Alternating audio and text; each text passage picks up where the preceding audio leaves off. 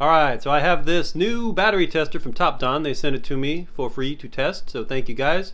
I'm going to see if it is any good. I've always wanted one of these where you plug it into your battery and it tells you whether your battery is alive or dead. And not just a voltage test, but actually a, a charging test and a cranking test. So like you would get at the mechanic. Um, there's your UPC code if you want to buy it.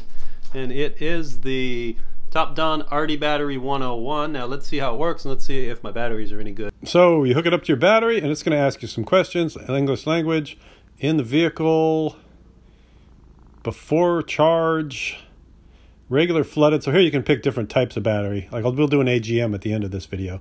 Uh, cold cranking amps. There's also different ways to test it. I just run with the cold cranking amps because you can see on the top of the battery what the amperage is.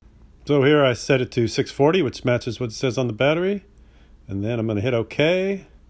And it's going in the battery and trying to figure out if it's good or bad. So let's see what we get. So state of health is 38%. That's that one. And then state of charge is 98%. There's 425 cranking amps, and it gives you the resistance as well. And it thinks that I should replace it. I probably want to clean my battery terminals first and just make sure that that's not an issue with this particular battery. And so now we can do some running tests with the battery as well. So now it rolls right into the next test, tells me to start the engine to do the cranking test.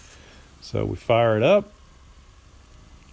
It detects the RPMs and it says that it is dot dot dot cranking normal. So that's good. It's cranking at normal speed. That makes me happy. So this battery has more amps than my car needs. So maybe at even partial percent, it's okay. So now it wants a loaded test with the engine running.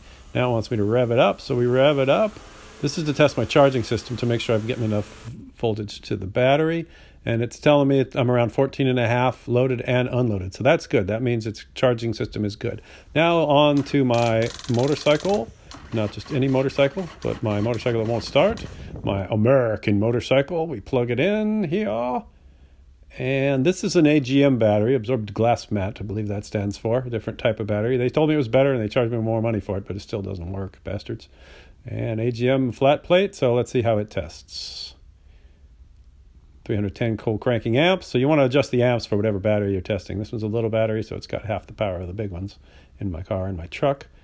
Replace. So it's 56% health, even though it's all the way charged up, and it doesn't want to crank the old big 1200cc bastard over. All right, let's check the battery in the old heavy Chevy here.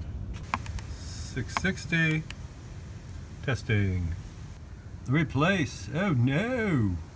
Sorry, kid, no college for you. We're going to be spending all your college money on batteries.